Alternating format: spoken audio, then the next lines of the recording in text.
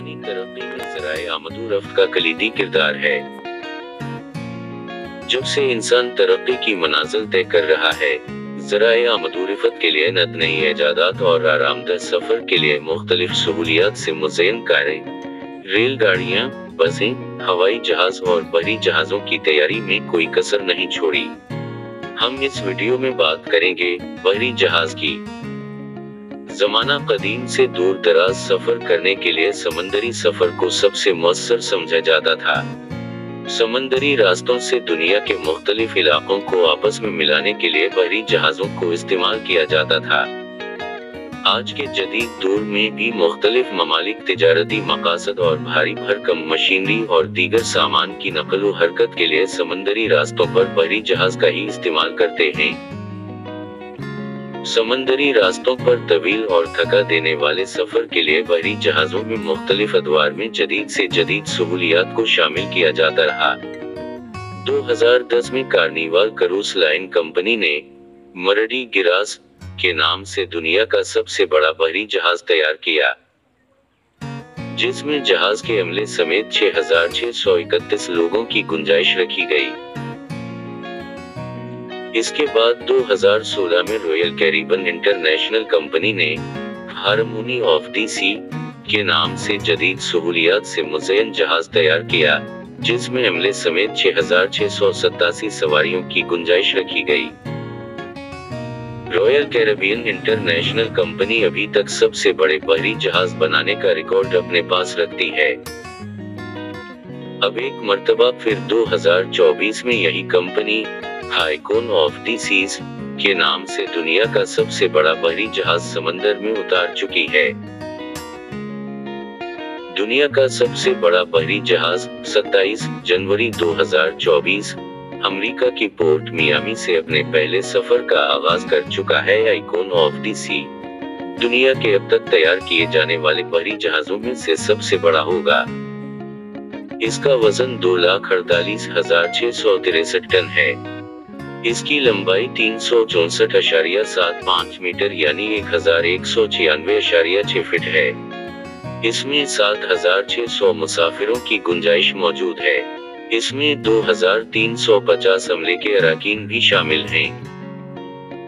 Icon of the seize समंदर में 22 not 25 मील फ़ी घंटा, इकतालीस किलोमीटर फ़ी घंटा की रफ्तार सफ़र कर सकता है।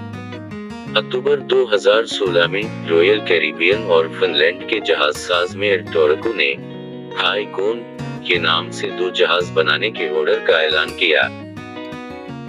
इनमें से एक 2023 की तीसरी से माही में मुकम्मल कर लिया गया और दूसरा 2025 तक मुकम्मल कर लिया जाएगा।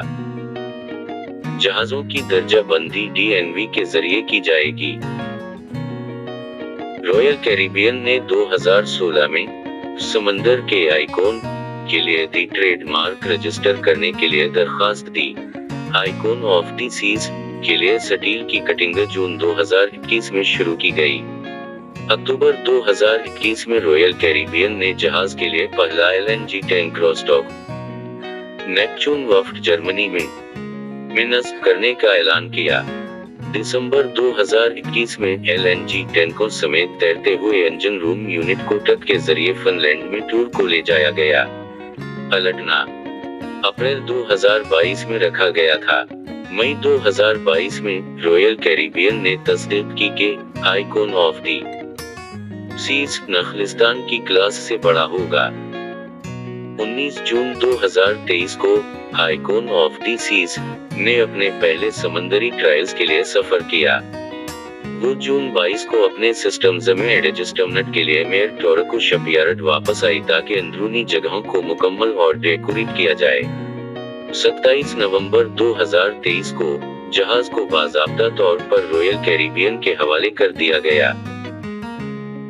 जनवरी 2024 में मियामी से सरकारी आगाज़ से सिर्फ़ दो माह कबल यकुम दिसंबर 2023 को Icon of the Seas Denmark में अजीम बेलेट ब्रिज के नीचे से गुजरा।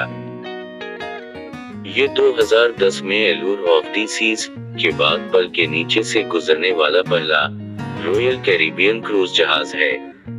बहरी जहाज़ को स्पेन के नावांतिया शपयार्ड में आखिरी सामान साजी के काम के लिए खड़ा कर दिया गया। 13 दिसंबर 2023 को ये ऐलान किया गया कि हाईकोन ऑफ़ दी का नाम लेवनल मेसी रखेंगे। ये जहाज़ 23 दिसंबर 2023 को कैडीज से पोर्टो रेको के लिए रवाना हुआ। उससे पहले कि वो अपने इफ्तिताही सफ़र के लिए मियामी की तरफ़ रवाना हो। 10 जनवरी 2024 को जहाज़ पहली बार इसकी आबाई बंदरगाह पोर्ट मियामी पर पहुँचा। इसका पहला सफ़र 27 जनवरी 2024 को तयशुदा था।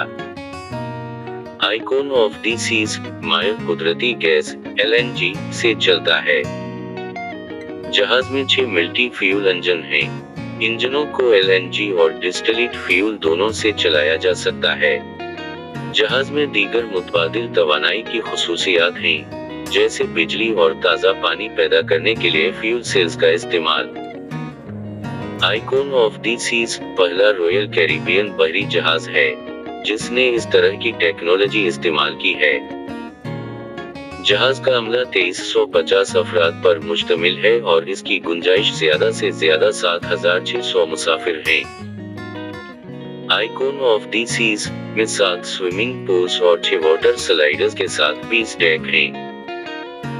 कंपनी का गुंजाइश ज़्यादा से ज़्यादा सात हज़ार छह सौ मुसाफिर हैं।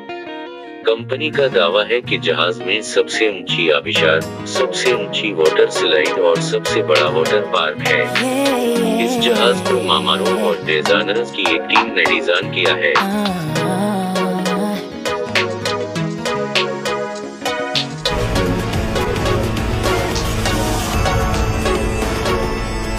It gets confusing when you say you love me. When you say that we're just. You must be thinking this is just a game. You're not interested to play. I'm looking for something real. Won't you tell me how you feel? What your true